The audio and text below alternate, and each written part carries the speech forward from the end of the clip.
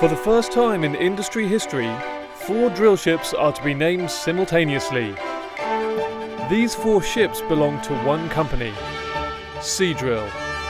We used to be a small kid on block, but we are the biggest company today. This is fantastic uh, to put these units into service.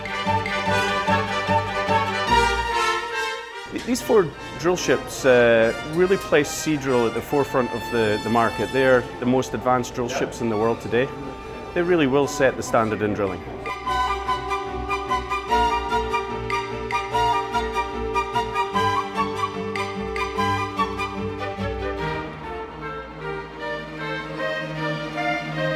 The ships have been constructed by Samsung Heavy Industries at their shipyard in Geoje, South Korea. It's taken two and a half years to complete them, but they are the most advanced machines in the industry. These are an evolution of the rigs that we're already operating, uh, a little bit better technically, uh, more capability, deeper water depth.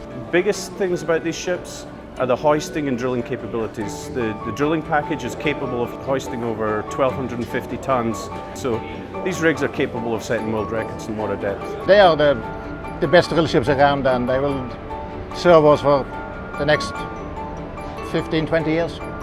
Not only is the technology the best in the business, but so are the facilities.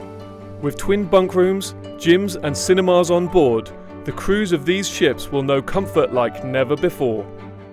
I spent my 10 years offshore and uh, just to see the development since I worked offshore until now is fantastic and the environment people work on is far more better than back in the 80s when I worked on rigs. Modern equipment attracts the best people. They want to play with modern equipment.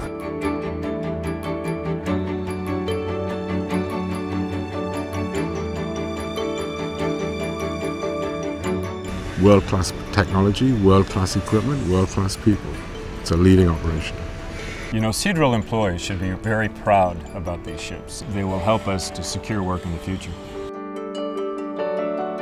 With these four new, state of the art ships nearing completion, everyone is gearing up for the naming ceremony. This is really an exciting day. I'm here a day in advance of the actual naming ceremony, and tomorrow we're going to have a big celebration. We'll actually go and name four rigs.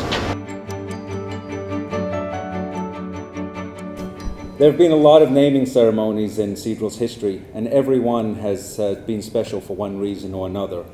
But we have never named four ships at the same time. For us, it's a lot of numbers, but actually coming aboard them, kick the tires, if you will, and seeing what an amazing piece of equipment it is, it's, it's been very good. So I'm very excited. So it's a very special event for, for Seadrill, and uh, clearly it sort of shows that they are the leading uh, contractor in this business. I've had the honor to be appointed to uh, be sponsor lady of uh, West Saturn, which I'm looking very much forward to. You know, being a godmother is really, really a privilege and an honor, and uh, I'm very, very excited for tomorrow's ceremony.